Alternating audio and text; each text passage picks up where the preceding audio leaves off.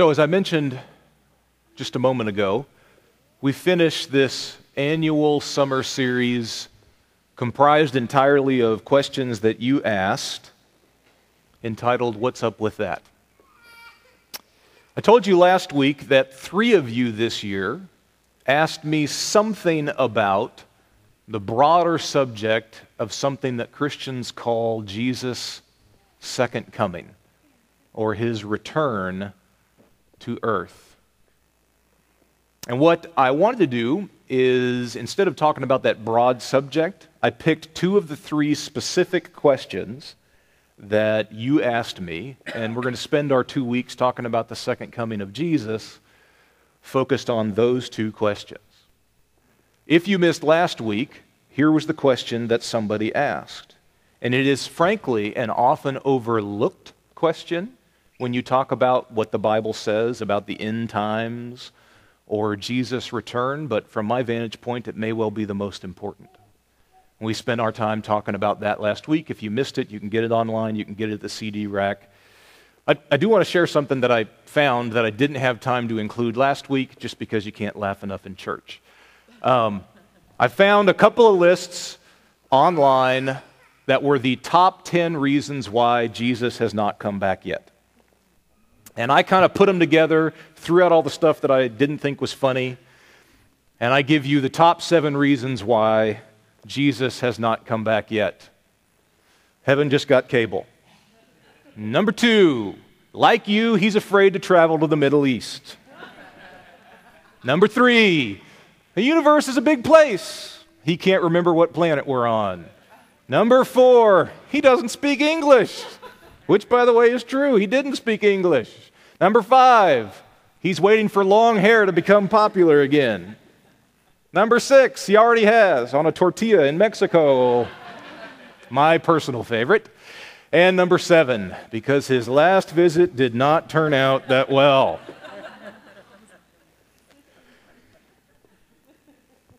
Here's what somebody asked me that we're going to focus on today.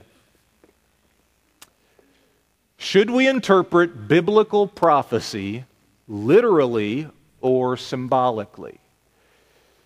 Now, you may not think that that has much to do with you or that that's all that interesting, and hopefully, over the next 30 minutes, I can change your mind a little bit about that. I would tell you this to start with most of all those disagreements that you know exist among Christian people about how they conceive of Jesus' second coming or his return to earth, the end times, it actually all goes back to that question. This may well be the question that is the foundational issue of how you will determine how you think about the end times or Jesus' second coming. So, how would you understand biblical prophecy? Biblical prophecy being things like Revelation, the last book in your Bible, Daniel, Ezekiel, Isaiah, things Jesus said in Matthew 24 and 25 about the future, perhaps, about the end times, his second coming. How do you understand it? Is it a literal script? Is it a blueprint? Or is it maybe more symbols or pictures? Now, it's always helpful for those of you who've been around the church block a few times to put yourself in the shoes of a non Christian. How do you think a non Christian looks at or perceives that question on the screen? Well, they don't know what to make of it. They can't believe that rational people would believe that some book written between 2,000 and 3,500 years ago would even claim to have things to say about humanity's future. They certainly don't think that Jesus, who may or may not have been a historical figure 2,000 years ago in their mind, is ever going to come back to earth again. So when they evaluate this question, for them, it probably seems like nonsense. You see that, right? And it seems to me, as a Christian and somebody who, by profession and calling, is supposed to explain the Christian faith as well as I can, not just to insiders, but outsiders, it is now incumbent on me to try to explain this question in a way not that churched people would understand, but that an unchurched person might understand. And that's part of my goal this morning. I think the best way to start is you need to get a taste of what this question is asking about. That is, you need to dive headlong into some biblical prophecy and see why this is an important question and why it is that people have such a hard time wrapping their heads around the subject. What I'm going to do is flash up here on the screen three passages, two from a book in the Bible called Revelation, one from 2 Peter. And I'm not going to read them aloud, but while I'm talking about them, I want you to read them, okay? And I'll be giving you crib notes along the way. This is from Revelation chapter 17. It's from a section in Revelation 17 and 18 about this figure called Babylon. As you read through that, what do you see? What do you take from that? Uh, for starters, okay, in my 20s, I read a lot of Hunter S. Thompson. This strikes me as something from Fear and Loathing in Las Vegas. Drugs may or may not have been involved in the writing of this passage, right? This is weird to us when we read it. The images, the ideas, it's strange. How are we supposed to take this? Hmm. That phrase down there toward the bottom of this first passage is one you'll find common in biblical prophecy, where this writer says that I was carried away by God's messenger in the Spirit, as if it's some kind of mystical vision that he received, whatever it happens to be. This is the same passage continuing on. What do you see? Well, again, it stays fairly bizarre and weird, right? But you note that the images and the language is very powerful. It brings things to mind. There's even emotion to it, right? You see that.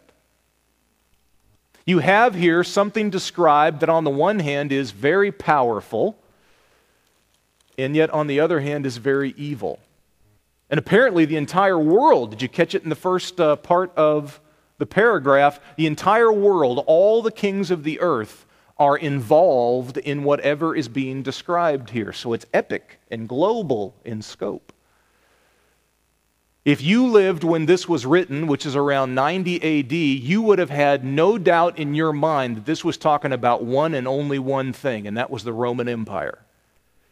And there are some verbal cues that I'm not going to go into great detail about in this passage that would have clued you into that like the seven heads and the ten horns. That doesn't mean anything to us, it would have back then.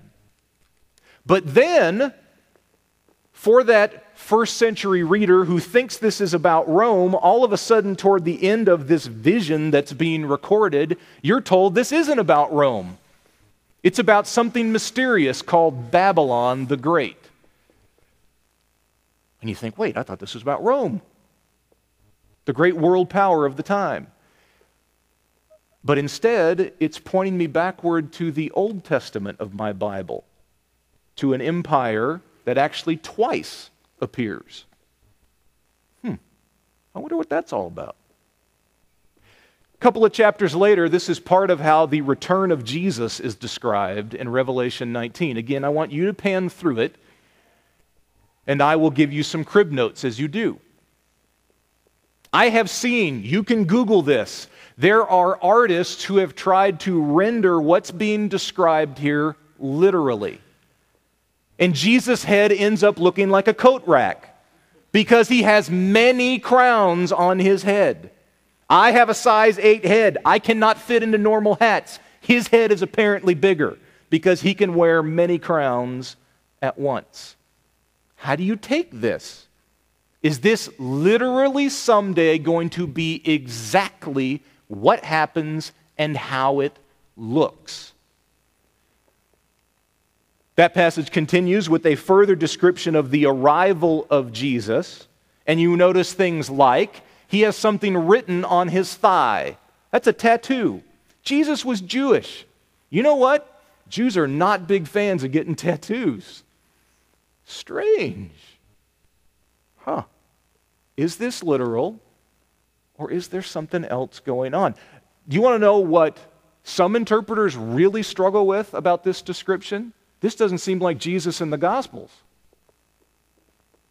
This Jesus is mad and belligerent and showing up to kick some you know what.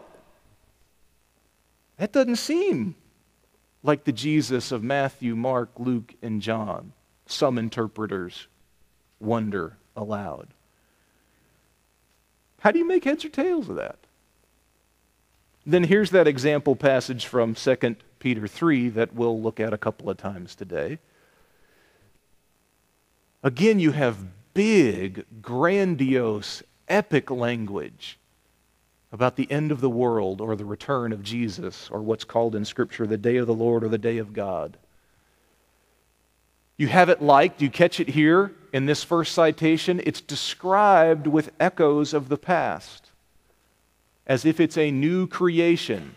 The world was created at one time, it's going to be created again. There's also echoes of the flood. Way back in Genesis, the world flooded once, and what's going to happen will be like a flood again. How on earth do you take it? This is how Christian people have tried to make heads or tails of biblical prophecy like the three passages you just looked at. They tend to break down into four groups. You have people who tend to understand those kinds of passages only about the past. So they would emphasize things like Revelation is really only about the Roman Empire.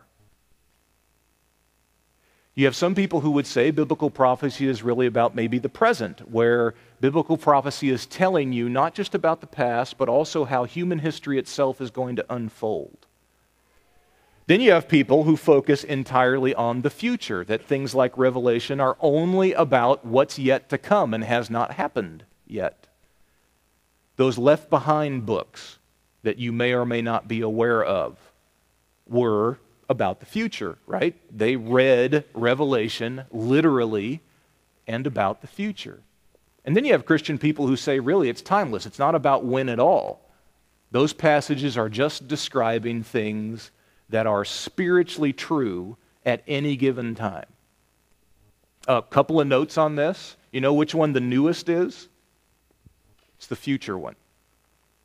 Future One really has only been around for about 150 years, had a brief appearance early in church history, then totally left the scene, and only started again about 150 years ago. The earliest one is probably the past and the timeless. And the one that's probably been the most prevalent in church history over its 2,000 years is the timeless one. Do you know that? All right, so here's what I don't want to do today. I don't want to convince you to think about this question the way that I do. I don't want you to view biblical prophecy the way that I necessarily do. Because, as I just showed you, good Bible believing Christian people can and do disagree. So, I'd like to back up one step and I'd like to talk about two very important features of reading biblical prophecy, really the Bible in general, that regardless of how you understand biblical prophecy, you need to be aware of, you need to utilize. As Rob Bell used to say, this is really the question or the issue behind the question or the issue. Here are two things that, regardless of how you think about prophecy or how you were taught it in your last church, these are two things that every single one of us have to keep in mind about that subject. Okay? Number one, it's actually not most, it's all. All biblical prophecy, that stuff in Revelation, the stuff in Isaiah, the stuff in 2 Peter 3, all of it is poetry. Poetry. Oh, you just got nightmares, flashbacks to junior year high school English. Poetry, which means that It's metaphors, it's word pictures, it's images. And to interpret it right, you have to remember that. We therefore have a problem. How many people do you know when they want to do a little light reading or bedtime reading, snuggle up with Walt Whitman, Ezra Pound, Shakespeare? There's nobody, if I had a show of hands, nobody in the room, other than the biggest nerd in the room, whoever that is, nobody would raise their hand. okay? Right? Somebody in the second row just raised their hand. Oh, oh, they pointed at me. Nice. Nice. No, I do not read poetry. I am a nerd. I am a nerd, true.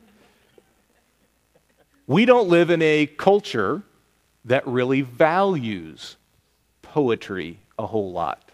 This kind of metaphorical language, word pictures, whatever, right? You see that. We just don't. Probably the closest thing that we have in our culture is music.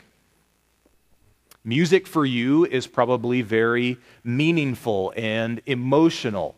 There are probably favorite songs of yours that you have that will always be your favorite songs because they tap into something very deep and fundamental about life, about your experience. Well, that's how poetry works. Poetry is meant to tap into the timeless mysteries of God, of life, and how we live it. And because we've lost poetry, we tend to have lost an ability to grasp that. The word for poetry is the one that's up there uh, in the rectangle. Poetry is evocative. Do you know that word? Evocative it evokes something in us, and you can't help it. Poetry, when it's well done, stirs something deep in the human imagination or heart, and you can't stomp it out.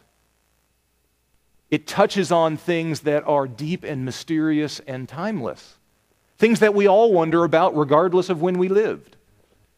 This is what poetry does. And see, the problem here is because we're not a culture that really cares about poetry a whole lot, or understands it a whole lot, or even reads it a whole lot, because the Bible is by and large poetry, we sometimes have a hard time understanding it, grasping it, hearing it say what it means to say. That little image there up on the screen is how poetry or word pictures work. You're trying to describe something that is vast and mysterious, and you can't do it.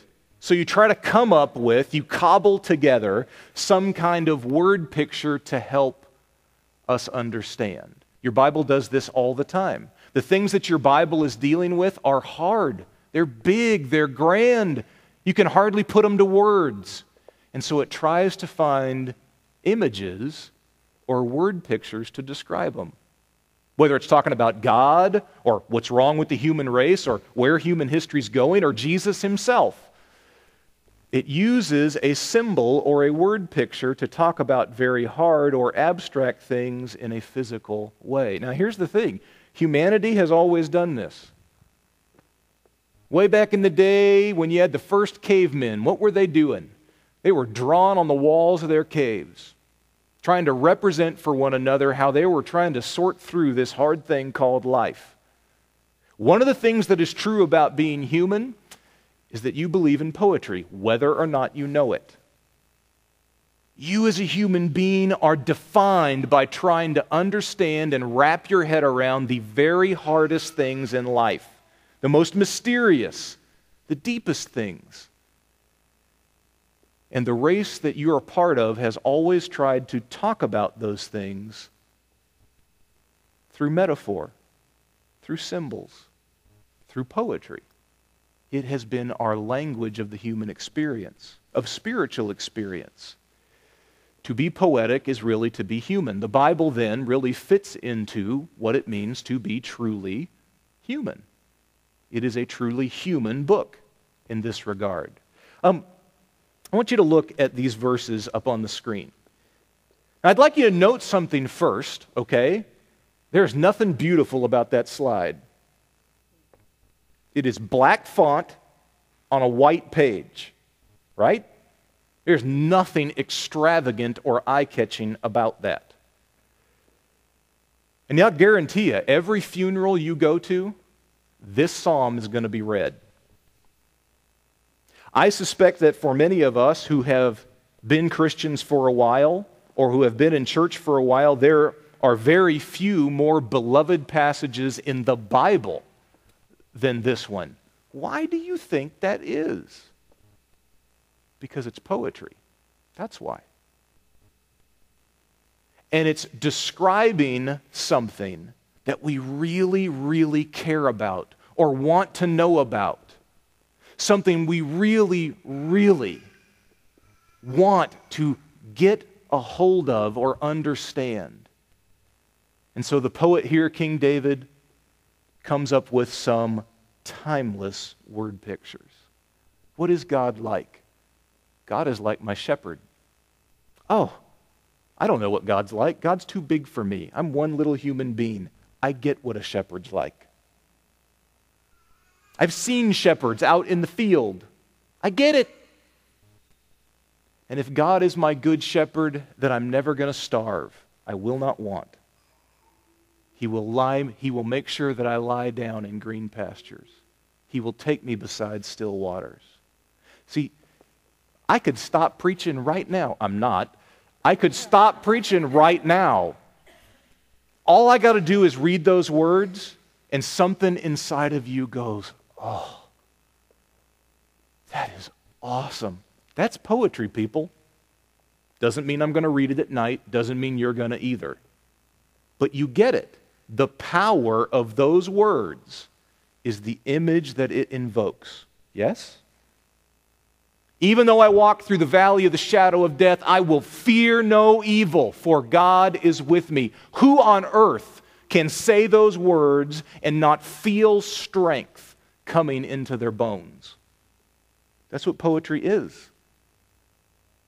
Concrete, tangible word pictures that tap into the most important things of life the spiritual part of life, the timeless part of life, the mysterious part of life. That's why you love this passage. Guess what? Biblical prophecy is all, not some, all of it is like this. It doesn't mean that it's not about the future. It doesn't mean it's only about the past. You can come to your decision about that. Here's what I know it's all like that. It's all poetry. And if you don't appreciate it, or understand it like poetry, frankly, you're missing the point. Let me give you an example. Here's that passage from 2 Peter 3 again. What do you see? That's poetic. That's evocative. What do you see? But the day of the Lord, which is the return of Jesus, it is going to come like a thief. Stop. Don't read anymore. If you want to get that, the way that the writer intended it, you have to feel it. You have to imagine it. What's it like when a thief shows up at your house? It's surprising. It's even a little frightening. You cannot anticipate it happening. Jesus' return, whatever that means, however you conceive of that, Jesus' return will be like a thief. And regardless of how much we argue about when that will happen or how that will happen, here's what I want you to know. If you don't feel down to your soul, if you don't feel the force of the word thief, and what that means and how it taps into your imagination about how you think about the return of Jesus, then you're missing the point no matter how right you get the timing. Continue. The day of the Lord is like a thief. Two verses later, Peter says, But in accordance with his, God's promise, we wait for a new heaven and a new earth in which righteousness is at home. Righteousness, God's justice, Everything that God thinks is right and moral and good. That's what that word means. We look forward to a day when the new in the new earth and the new heaven righteousness will be at home. That's poetic language. regardless of when you think that will happen or how that will unfold, when you read that sentence, how does it affect you? How do you experience it? Because that's really the point. Um, is righteousness at home in our world now? Actually, no, not a bit. As an observer of our world, would you not say that so often it seems like our world and the people in it and the powers that be who are in it seem like they are dead set actually against righteousness, goodness and love and generosity and justice? It seems to me like God's righteousness is a foreigner in this world, a stranger. The best we can hope for in this world is that those powers that be and the people around us give great lip service to the idea of wanting those things, and they never really do. And the reason that I, as a Christian person, do not feel at home in this world, just like you, is because righteousness is not home in this world. And yet, Peter says, and yet, we look forward to a day when the new heaven and the new earth will be here, whatever that is. And what we know about that place is it will be a place where God's righteousness is at home. God's righteousness can kick up its feet, sit in the rocking chair, drink a little lemonade on the patio. It's at home finally. Do you feel it? I don't care if you think of how this is going to unfold a little differently than somebody else or what the specifics are, if you're missing the sheer power, the emotional force of that sentence, you're missing the point. Prophecy is meant to be read in an evocative way. Your entire Bible more than it is anything else, is a book of poetry. It's got history in it. Absolutely. It has teaching in it, like the Proverbs. Absolutely. But you know what the Bible is mostly? Not just biblical prophecy, the Bible as a whole. It's poetry. And if you don't take time to appreciate what it says and see how it affects you, imagine what it's describing, then really you're missing the point. Regardless of the specifics of when it will happen or how it will happen. Now, if that was eye opening, and I hope it was, uh, I think this will be too. And again, this is applicable for anybody. Doesn't matter if you think that biblical prophecy is about the future or the past whatever box it was that you fell in or you've been taught that I showed you earlier. Here's something you have to know about how the Bible looks at human history, not just prophecy, the whole thing. The Bible thinks that history repeats itself. And that's why oftentimes in passages like you saw, you see the past and the present and the future blended together or blurred together because that's how the Bible understands history. It repeats itself. Now, if you think, okay, that's strange to me, I don't quite grasp that, well, I'm going to give you some examples in a minute, but back away for a second and understand that this is also a human thing. This is not just a biblical thing, this is a human thing. Uh, Russ Roseman is in his cabin in Canada this week. He's going to miss a sports analogy, unfortunately. When we talk about who the greatest current basketball player in the NBA is, you know how we talk about it? Who's the next Michael Jordan? What are we doing? We're invoking the past to describe the present. When we have arguments about who the greatest quarterback of all time in the NFL was, what do we do? We blur the lines between the past and the present. And we think, oh, yeah, Tom Brady, He's the new Joe Montana. Okay, and I'm, I, ladies, I am totally going to stop. Totally. But all the guys get it, right? We're blurring together the past and the present. We do it with politics. Somebody runs for president, and their party wants you to believe he's the next John F. Kennedy, he's the next Ronald Reagan. What are they doing? They're invoking a figure from the past to help you understand the present. You saw it, by the way, in those passages that I showed you earlier. So, Revelation 17 and 18 is written, and to its first century readers, they would have gotten the signals from the text that this could only be about one thing. What? Rome. And yet, when Peter gives what he's describing a name, what name does he use? Babylon, from the past. He says, hey, you know, in the past, twice in the Old Testament, the great world power that was corrupt and treacherous and tyrannical, that was fighting against all things good and just. Twice in the Old Testament, it was named Babylon. You know what Rome is? It's the new Babylon. That's how your Bible understands history. Is that you have these big people or these big things that happen in the past, and your Bible knows it's going to happen again. And the Bible knows it's going to happen again.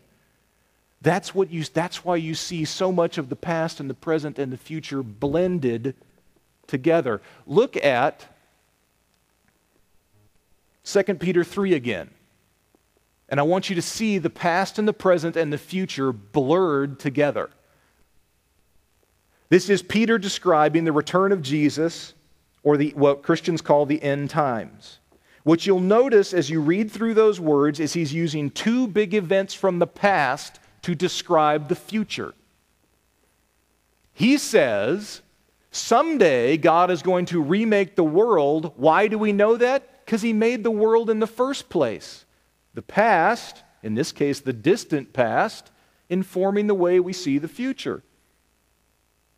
He also says we know that part of what's going to happen is that God is going to judge. He is going to morally assess the world and its inhabitants. Why do we know that? How do we describe that? Because he did it during the flood of Noah. You see that?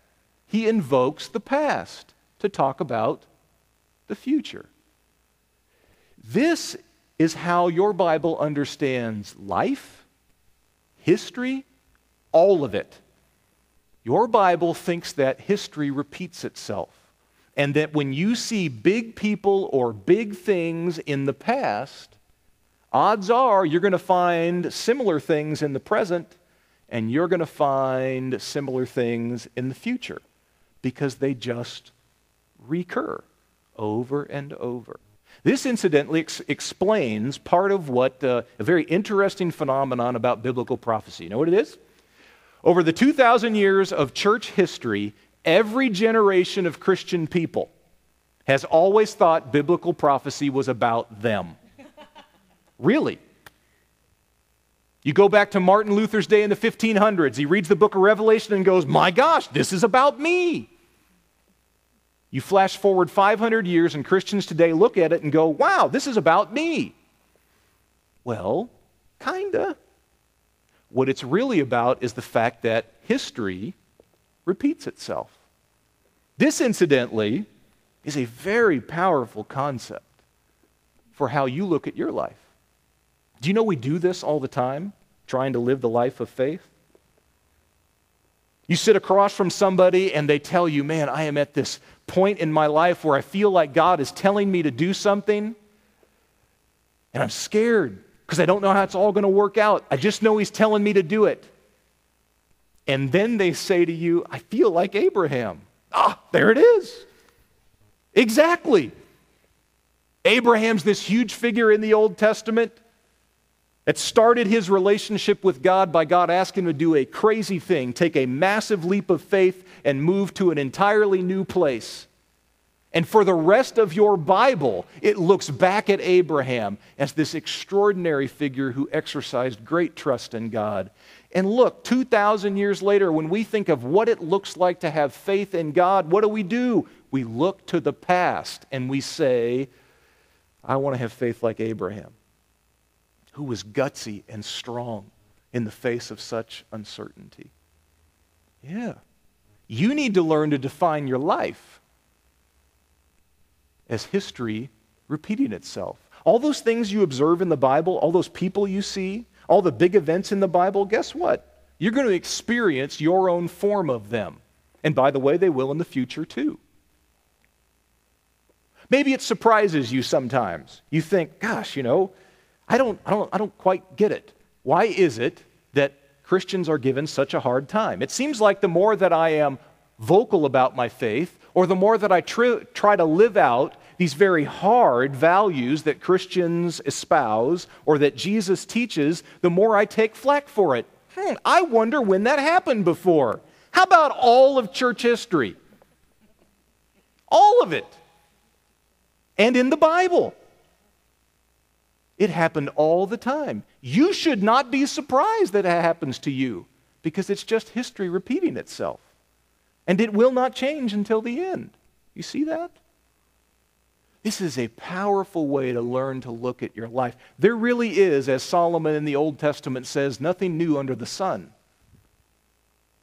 The same big ideas just repeat themselves. The same big events just repeat themselves. It's just the names that change. And this, by the way, is why your Bible can talk about the future. Do you see that? I hope, at least for somebody in the room, this is a light bulb moment. That's why your Bible can talk about the future confidently. This is a great Dutch Christian writer who is probably most known in the 20th century for working with her family to hide Jews in Holland from Nazi persecution during World War II. But note the concept. We never are afraid to trust an unknown future to a known God. See, we look at the future and we think, gosh, we don't understand at all how this is going to work out. How can anyone look past the veil of tomorrow and see anything with certainty? Actually, you can. Because at the very least, we know that God will always be the person who acts the same, who values the same things, who detests the same things who will act toward us and other people in the same way. Here's what I know about my present. Here's what I know about your present. Or things, there are they happen to be things that I know from the biblical past. I know that God really wants me to trust Him more than I can make sense out of my life. I know that to Him, He thinks that loving Him with all my heart, soul, mind, and strength and loving my neighbor as myself are the two most important things anybody could ever do in their life. This is true of my life. You know what's true of the future? The same things. Why? Because God doesn't change. The Bible can predict the future because history repeats itself and God does not change. And so God responds to injustice in the same way in the future that he does in the past. It should not surprise us that if in the future there is some future world power, as described in Revelation 17 and 18, it should not surprise us that God will not like it because God never liked it. Do you see that? It should not be that mysterious about why it is the Bible can be so confident sometimes speaking about the future. It's because it's so confident that it's just a repetition of the past and that God alone is the continuity between all times. So, here's what you learned today about how biblical prophecy actually works. Regardless of how you want to think of the specifics, let's not get bogged down in details. These are two things that, regardless of who you are or what your vantage point happens to be, you need to take into account at all times when you check out biblical prophecy, but frankly, this is true of the Bible at large as a whole. Those two ideas should be familiar to you from what I presented today. But see, you can tell this is bigger, this is wider than just biblical prophecy. There's a lot of meat here or grist here for you as a Christian person in general. How are you going to interact with the Scripture? How are you going to listen to it? How are you going to be informed by it? Well, it needs to be like number one, right? And too often we don't treat the Scriptures that way. Ah, but maybe even more illuminating, when you look at your life and you try to understand what's going on or where it's headed or how on earth you can have any certainty for the future, it actually needs to be the same way that we talked about in terms of interpreting prophecy. And see, the Bible thinks that your life is not unlike every other life that's lived, and that in your life you're going to experience the same things that the great figures of the Bible did. You will experience in some form the great events of the Scripture. We know this. You need to see your life as part of history repeating itself. You should not be surprised by what happens to you, it's already happened before. And you should have great confidence in the future. Why? Because I don't know what your tomorrow is. I don't know what your next decade looks like. But I do know what the God who will be with you is like and he does not change. And he will treat you and look at you and be kind to you in the same way then that he is now. And that is truly the only confidence that any of us have about tomorrow or the next 10 years. Would you take a moment in the quiet and maybe talk to God about what it is that you heard today? give him a moment to reinforce something that we talked about today that you can carry with you. And after I give you a moment to do that, I will pray for us all.